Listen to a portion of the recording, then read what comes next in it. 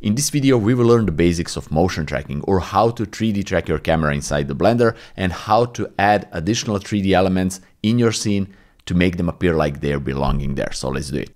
Let's press A to select everything, X and delete everything from the scene because we don't need that at all. And let's feature layout. Let's go to the plus, VFX and motion tracking because we will track the motion of our camera. This is how the layout looks. And now we need to open our footage. By the way, you have the links down in the description so you can download both the footage and the 3D file that I will use here for this example so you can follow along. All right, now that we covered that, you can either just directly drag and drop our footage to the scene or click open and find it.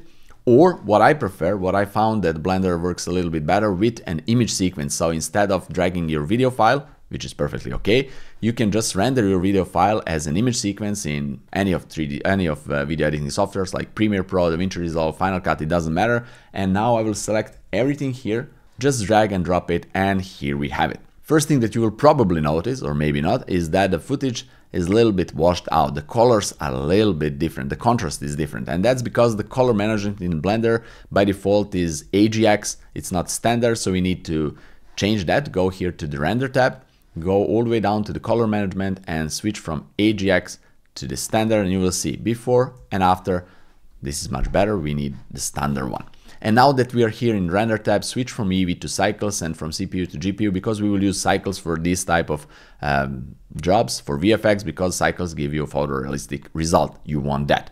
All right. Now that we covered that we need to tell the blender how many frames we will work with. And we can just click on set scene frames and Blender will automatically set the amount of frames that we have here on uh, the footage is 239 perfect and you can see this uh, purple line it's uh, jagged a little bit so it's not completely uh, purple and that's because we didn't load everything into the cache uh, from the footage so let's do that let's prefetch it now everything is full and you can easily scrub back and forth without any hiccups. Perfect. Now what we need to do is to track the scene. There are two ways how you can track the scene. You can track it manually, you can track it automatically. I almost always use automatic uh, method, but it's important to know how to do it manually because sometimes you will be in need to manually add some trackers to the scene. So let me show you how to do it manually and then let's do it automatically. So let's zoom it right uh, to this portion of the scene. And here you have the markers. We need to add markers. Blender need at least eight markers per frame in order to be able to perform proper 3D tracking. So we can click add and just click somewhere in the scene and we are adding our marker. Marker has two segments. It has the pattern size and in this uh, rectangle here you can see everything that is inside it will be treated like a pattern and Blender will try to uh, match that pattern in every single frame. And if you press Alt and S, you will see the search region, the search size. And this is the size, uh, the region where Blender will try to find this pattern. So the smaller the search size is, the more precise tracking will be, and the smaller the pattern is, again, the more precise as uh, tracking will be. But you don't need to think too much about that. The default value work most of the time. Let's press Alt S again to delete it, to hide the search size. And here you can see there is a pattern size and the search size. So you can um, add another marker. You can see this is much higher, the pattern size than, than this. And uh, the search size also much, much bigger than this. So let's press Alt S. I will delete both of these markers and this is how you manually add the markers. Remember, you need to have at least eight per frame in order to, for Blender to properly track it. And here you have some presets. So blurry footage will have certain uh, pattern and search size, then fast motion against certain and so on and so forth. So I will use default, which works perfectly fine for this scene. And we will use automatic method and how to do it. Just go to the first frame. Okay, right there click detect features and Blender will automatically detect the best tracking markers that will be good for our tracking. And now we need few more things. We need to change the motion model. We have location, location rotation, location and scale, location rotation and scale, affine and perspective. So affine will work in most of the cases. If you're not sure what you can you're doing, affine will cover you. But here if we go, we can see we have location changing, so we have motion, and we have rotation. So we can go with location rotation, we can add the scale, so also it's not wrong, so let's go with this. And also uh, we want to check normalize. Here in this footage, the normalize is not that important, but normalize will normalize the light uh, while tracking the intensity of the light. And uh, this will be a little bit slower, but it will be more precise. So I always like to check normalize. And one more thing, the tracking, uh, this tracking setting extra, uh, I want the correlation to set 0. 0.9. And that basically means that Blender needs to be 90% sure that track is correct in order to continue tracking. And now all we need to do is to press either Ctrl T or click on this icon that means track forward. So let's track forward. This is how it looks. Now I want also to detect features right here at the end of the footage, so detect more features. By the way, if you want to detect even more features, you can uh, open this menu right there and for example lower the distance a little bit. It will add more and more features and play with these threshold and margin but for me this is okay. So now let's track backwards. Perfect. We have more tracking markers. Now I want to go somewhere uh, in the middle somewhere here for example detect features track forward and come back to the same keyframe and track backwards Perfect, and maybe somewhere here to detect even more features. Perfect, track forward and come back here and track backwards.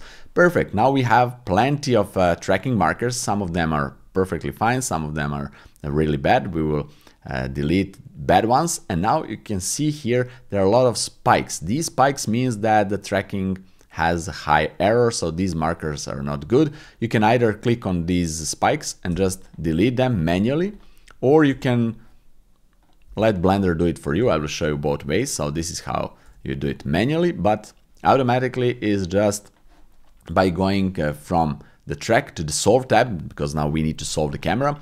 First, in the solve tab, I like to set keyframe, keyframes. So basically, uh, these keyframes, A and B, is the keyframes. Between those keyframes, blending are detecting the parallax, motion and everything. And if you set the keyframes like that, check the keyframes option here. Blender will do it for you automatically. For this case, let's do it manually. Let's press keyframe 1. So from this to keyframe, I know, 200. Let's detect the motion between these two. I think it's okay. And also I want to refine the focal length, optical center, and radial distortion. So Blender will do everything for you automatically. Let's click the solve camera motion and depends of the complexity of the scene, of the amount of tracking markers, speed of your computer. It will be more or less time to do it, but uh, the solve is done. The solve error is 2.38 pixels. This is pretty high solve error. The idea is to lower this error below one pixel, ideally below 0.5, below half pixel. So how to do it? Well, we need to go to cleanup here. And with the cleanup, let's go here to filter tracks. I like to set this first at 10 and delete these, you can see I identified 24 problematic tracks, press X and just delete it. Solve the camera again. It will wait for a few seconds. Perfect. 0.47. This is amazing. We can do it even better, I think. We can change maybe here to, I don't know, 150. Let's see. So motion. Okay, 0.47. And now let's let's go to clean tracks.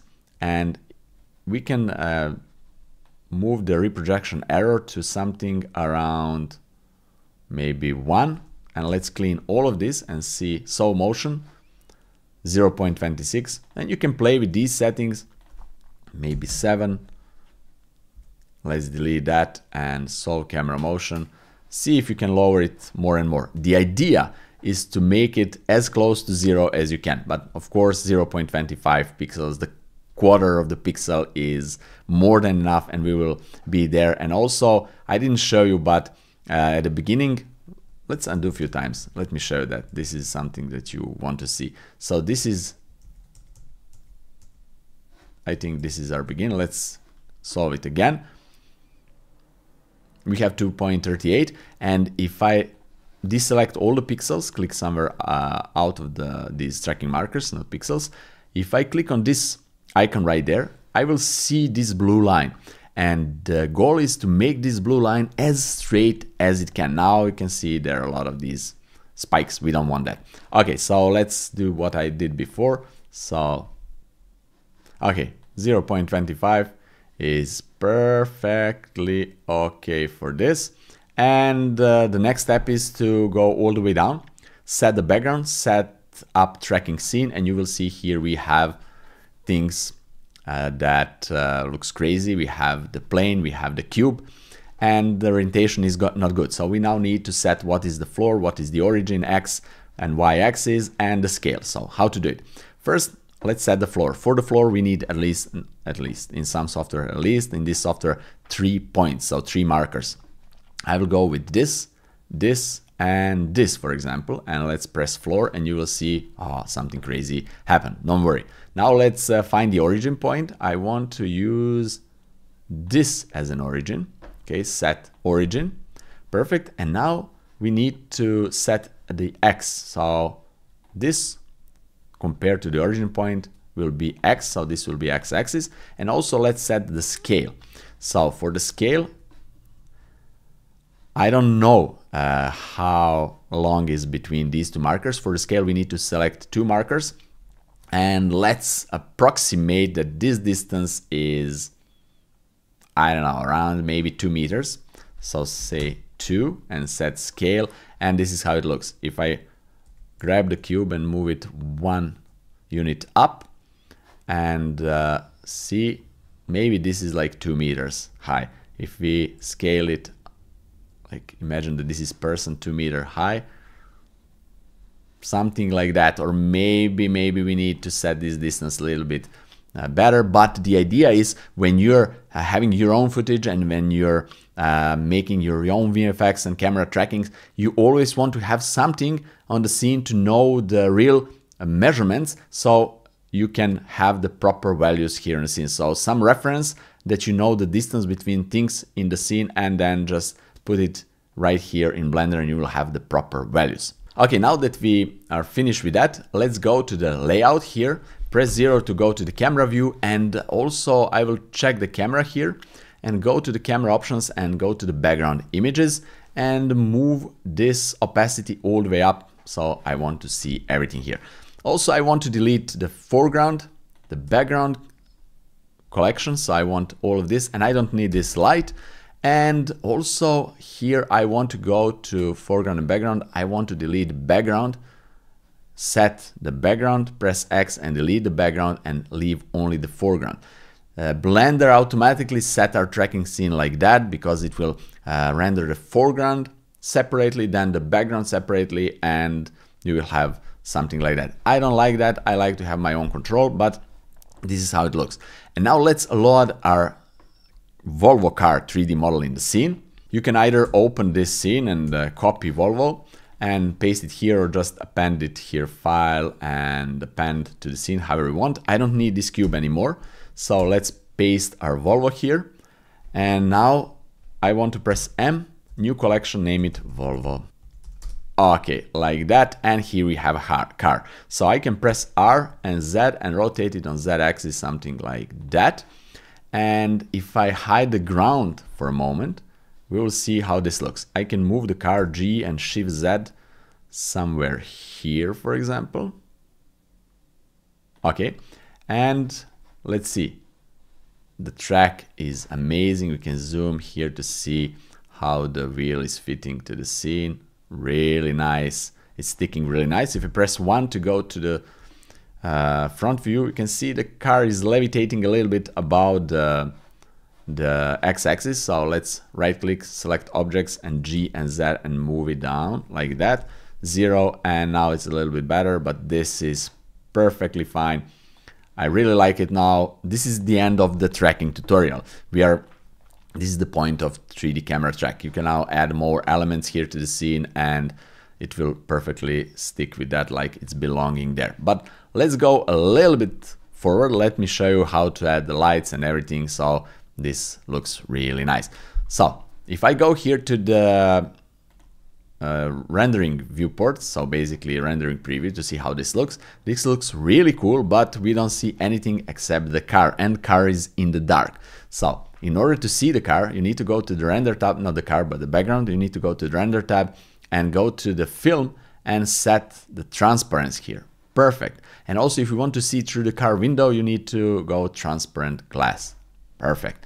Now we need to match our light. So for that, you can go to polyheaven.com, go to HDRIs and find any of the HDRI that you like. Uh, so we need outdoor, we need overcast. So let's see, overcast and find something that you think it suits best for that. I like this one, Urban Courtyard, and you can download this one. The point is that has some building around and it's overcast. And let's load this in the Blender. I have already downloaded that. So in order to load it, go to here to the world, color, environment texture, and now just open your EXR file that you downloaded. So it's this one. Let's press open. And this is how it looks. If I go here, you can see also the reflection from the buildings, etc. You can also rotate it, but here, if you load the ground, you will see the shadows and everything. Okay, now what I like to do, let's let's uh, go right here in the corner where the plus icon appear, the cross, just move it a little bit up, and I want to switch to shader editor, objects, world, and let's zoom this in. Click on the image node, control T to load these two additional nodes, but for that you need to go to edit preferences, add-ons, and you need to have node wrangler, node wrangler enabled. It's there in Blender, but it's not enabled by default. In case you don't have it enabled, just enable it, click save preferences, and you're ready to go. Now with these uh, nodes, you can go to rotation and Z and you can rotate this. And now if I go to this scene right there, let's see, I want to move this building somewhere here for fun. Why not? This looks cool, this looks cool. And also the ground, make sure that the ground is big enough. So something like that, perfect.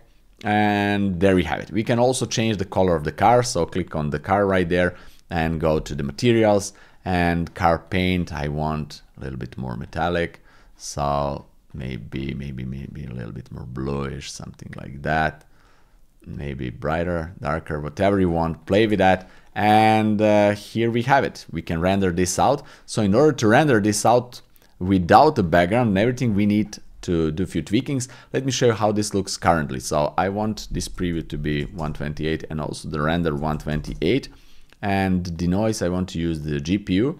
And also what I like to use here, I like to go to performance, just to use persistent data, and it will render a little bit faster for me. So now if I render this frame, press F12 and render this, you will see in a moment, it will render the car and the background, but I don't want the background to be loaded. I just want the car. So how to do it? Well, we need to go to compositing tab and there is a lot of there are a lot of nodes here so we don't need any of this we don't need this i will delete it i don't need this i just need the car so let's go with this this is oops image.